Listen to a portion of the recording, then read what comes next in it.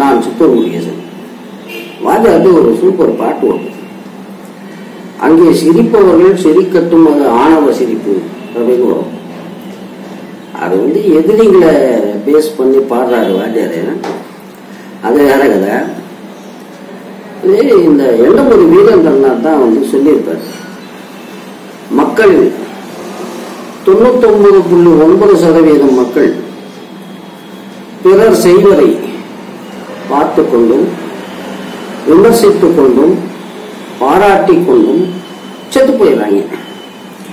சொந்தமா ஒரு வெங்காயத்தையும் செய்யறது கிடையாது இப்ப என்ன மாதிரி ஆள்? எதையாவது செய்ய முயற்சி பண்றேன்னு அது பின்னாடி வந்து எத்தனை விதமான சிரிப்புகள் இருக்குண்டானா நமுட்டு சிரிப்பு இருக்கும் நத்தம் சிரிப்பு இருக்கும். இப்ப இது நம்ம பொறுத்த வரைக்கும் இங்க சூப்பரா வேலை செய்யும் இது வேலை செய்யணும் இல்லையோ இந்த அகல் விளக்கு மேகவத்தி ஜீரோ வாட்ஸு இப்போ இந்த கர்மம் முடிச்ச எல்இடி பவர் சேவிங் கண்ணு வந்து டப்ஸ் ஆயிடுச்சு அது வேற கதை ஆனால் பின்னாடி இருக்கிற கண்ணு சூப்பராக வேலை செய்யும் நொய்யால வேற இன்னொரு மேட்ரு என்னடான்னா எதிராளி மைண்டில் என்ன ஓடுது? அது அப்படியே நமக்கு மைண்டுக்கு வந்து வந்துடுது வடிவேலை பற்றி நிறைய வரும். மைண்டு வாசல் வாய்ஸ் எல்லாம் வெளியே கேட்க ஆரம்பிச்சிருச்சான்னு ஏ நிறைய பேர் அப்படித்தான் கிடக்கான் இப்ப நிறைய பொன்மொழிகள் எல்லாம் இருக்கு. என்னது? இருட்டை சபிப்பதை விட ஒரு மெழுகுவர்த்தியை ஏற்று. கேட்க நல்லா இருக்கு. கேட்க நல்லா இருக்கு. இவன் என்ன மாதிரி ஆட்கள்? நானும் நிறைய படிச்சுட்டேன். என்னுடைய கொள்கை என்னன்னா எழுத்து அப்படிங்கிறது பிரிஸ்கிரிப்ஷன் டாக்டர் வந்து மாத்திரை எழுதி கொடுக்குறாரு. அதை போட நாக்கில் நக்கனா நோய் குணமாகுமா? ஆகாது அதை வந்து மரோச்சரித்திரால சரிதா மாதிரி கொளுத்தி காஃபியில் போட்டு கலக்கி குடிச்சா உடம்பு சரியா போயிடும்? ஒரு வெங்காயமும் ஆகாது அது என்ன பாத்திரணும்? என்ன பாத்திரணும்? அப்படி நான் நிறைய படிச்சுக்கிட்டே வந்தேன். இது ஏற்கனவே ஒரு முறை சொல்லியிருப்பேன்னு நினைக்கிறேன். கடைசி கடைசியாக இது நம்ம கலைஞர் எழுதுவார் பாருங்க. கல்யாணி ஓடினாள் ஓடினாள். வாழ்க்கையின் ஓரத்திற்கே ஓடினாள். அப்ப அந்த நிலைமையில எனக்கு வந்து கை கொடுத்தது. எதுனா புத்தம் சரணம் கச்சாமி சங்கம் சரணம் கச்சாமி. அந்த ஒரு காலகட்டத்தில் அசோக் அந்த நபருடைய பெயர். அவர் ஒரு லிஃப்டை கொடுத்தார். அதே போல சத்யா சத்தியமேவ ஜெயதி.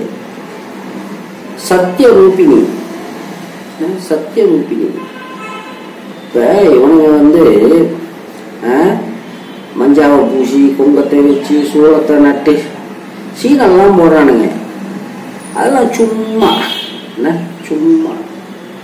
ஆக்சுவல் அது என்ன சொல்றது? அந்த நிஜஸ்வரூபம் என்னடான்னா சத்திய ரூபிணி தர்ம ரூபிணி என்னை பொறுத்த வரைக்கும் இப்போ நான்லாம் வந்து ஜஸ்ட் லைக் தட் என்ன?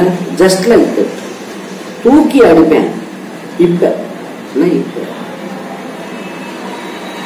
இதே வந்து நான் என்னுடைய சுயநலம் சொந்த திறமைகள் இதை வச்சு காலத்தை ஓட்டிக்கிட்டு இருக்கும்போது பயங்கரமாக சொதப்புவேன். ப்ரிப்பேர் பண்ணுவேன். என்ன? ப்ரிப்பேர் பண்ணுவேன். பயங்கரமாக ப்ரிப்பேர் பண்ணுவேன். பயங்கரமாக சொதப்புவேன். இப்போ அதாவது வந்து அந்த என்ன சொல்கிறது ஏதோ ஒரு ஆண்டனா இருக்குங்கிறேன் அந்த ஆண்டனாவுக்கு வந்து அங்கே லிங்க் மாட்டிக்கிச்சு. என்ன? லிங்க் மாட்டிக்கிச்சு. அது நம்ம ஜாதக மகிமையா? இல்லை பேசிக்கலாகவே நான் வந்து என்னடான்னா கொஞ்சம் குழந்தை மாதிரி. குழந்தை மாதிரி. யார் சொன்னாலும் அதை வந்து யோசனை பண்ணணும் அது சின்னவனா பெரியவனா அறிவாளியா முட்டாளா அதெல்லாம் பார்க்க மாட்டேன் யோசிப்பேன். என்னமோ சொல்றான் பாவம். அது என்ன பாவம்? அப்படித்தான் நம்ம ரூட்டு அப்படி சிற்சில விஷயங்கள் என்ன? சிற்சில விஷயங்கள். நான் ப்ரிப்பரேஷனே பண்ண மாட்டேன். அதை பற்றி சிந்தித்து கூட இருக்க மாட்டேன். ஆனால் அந்த ஸ்பாட்ல வந்து டப்புன்னு வந்து விடும் நான் ஷாக் ஆயிடுவேன் எதிராளி ஷாக் ஆகிறது அது ஒரு பக்கம். நானே ஷாக் ஆயிடுவேன் அப்படியெல்லாம் நடக்குது. என்ன? இப்படியெல்லாம் நடக்குது.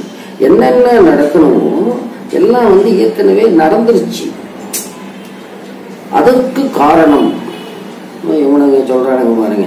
கிரியா பிராணயாமம் ஆசனம் இந்த வெங்காயம் எல்லாம் ஒன்றும் கிடையாது. சின்சியாரிட்டி அவ்வளவுதான். என்ன? சின்சியாரிட்டி அந்த சின்சியாரிட்டிங்கிறது வந்து எல்லாத்தையும் அடிச்சு உடைச்சு தூக்கிடுது. அடிச்சு உடைச்சு தூக்கிடுது வையால இப்போ பொதுவாக எந்த ஒரு விஷயமா இருந்தாலும் முதல்ல தீரி முதல்ல தீரி தீரிக்கு அப்புறம் ப்ராக்டிகல்ஸ் என் கேஸ் வந்து எப்படின்னா நடக்க வேண்டியதெல்லாம் நடந்துருச்சு. நடக்க வேண்டியதெல்லாம் நடந்துருச்சு. அதுக்கப்புறம் ரெண்டு முறை ரிப்பீட் ஆகுது. இரண்டு முறைகள். இப்போ ராமகிருஷ்ண பரமஹம்சரை பற்றி நீங்கள் படிச்சிருக்கீங்க. அவர் வந்து ஒவ்வொரு சீசனில் ஒவ்வொரு மெத்தடாலஜியில் போவார். நம்ம பொறுத்த வரைக்கும் நாம் வந்து லிஸ்ட்டை போட்டெல்லாம் பண்ணலை. தானே அமைஞ்சுது. முதல் முறை நடக்கும்போது கொஞ்சம் அசால்ட்டாக இருந்துட்டோம். என்ன வயசு ரெண்டு சின்ன வயசு. அறுபத்தி ஏழு பிறந்தோம்.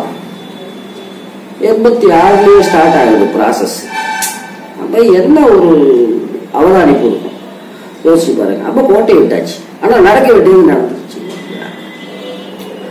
அதுக்கப்புறம் nineteen ninety four nineteen ninety ஃபோர்ல வேற ஒரு ரூட்ல நடக்குது.